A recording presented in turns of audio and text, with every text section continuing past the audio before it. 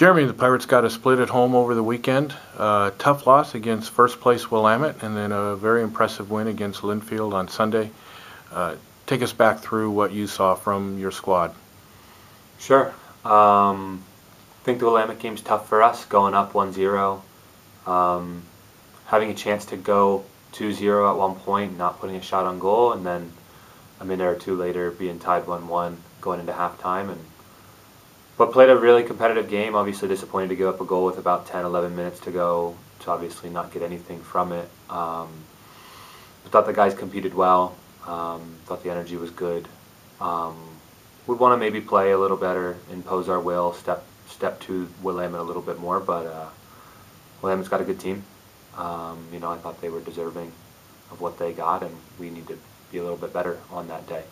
Um, Linfield, think something that we've talked about, um, you know, over the last couple games is, hey, when we're able to be on the ball and, you know, get a goal, can we get the next goal? Can we put the game away? I think we've struggled to do that, you know, throughout the year where it's like we're up a goal and maybe we get a chance but we don't put it away. We don't put the game to to rest and it puts a lot of stress, you know, on us as we get into the second half. But um, the guys did very well to put their shots on goal, a couple quality goals, um, you know, from Tyler and Jaime.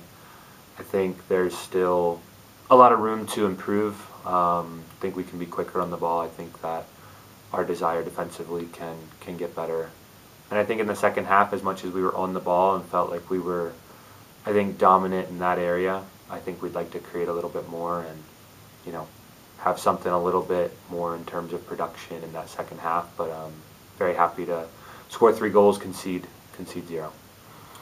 You continue to get a lot of production from first-year guys mm-hmm. uh, throughout the lineup um, front to back. Just talk about how much of an impact that they're having on the growth of this team. Sure.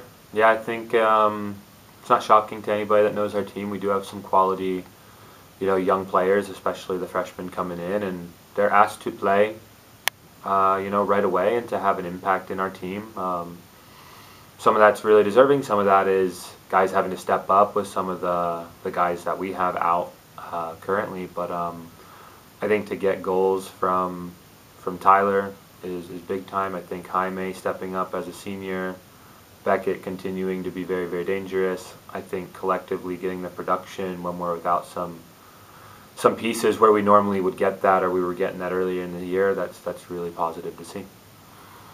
This week you get to focus on just one match, one opponent, uh, heading down to Whitman for what's been a very, very competitive rivalry uh, these last several years. Uh, talk about what Whitman does and the challenges they'll present.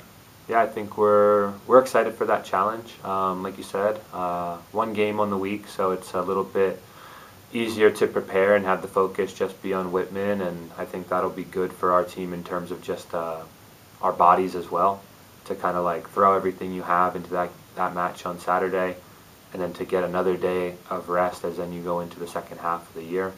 Um, going to Whitman's always tough.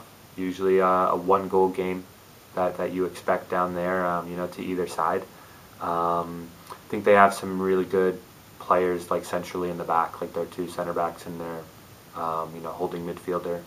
Um, those guys are big players. They're they're good players. I think that's going to cause a lot of challenge for, for our attack and you know our attacking players centrally. But um, usually, what you get out of Whitman is a very disciplined team, an organized team um, have some players that can hurt you, I think, individually in the attack, and um, usually are dangerous on set pieces.